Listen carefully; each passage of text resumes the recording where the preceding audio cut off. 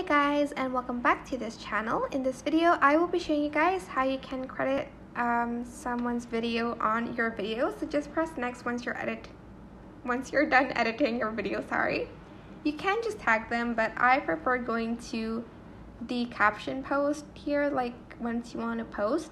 There's like a videos button here so select it and select the video that your video is inspired by if you want to give them credit. Well, you should give them credit. You can also find the video in your liked and your favorites. So if you don't want to like search for it, just make sure you put your video in your liked or favorites folder. I'm just going to select a video from mine and press confirm. And as you can see, I will be tagged in that video. But yeah, well, you can like tag somebody else, but I hope this tutorial was helpful for you guys. Don't forget to like, comment, share, and also subscribe to this channel if you haven't done that already. If you have any questions, just leave it in the comment section down below and I will try my best to answer them all for you guys.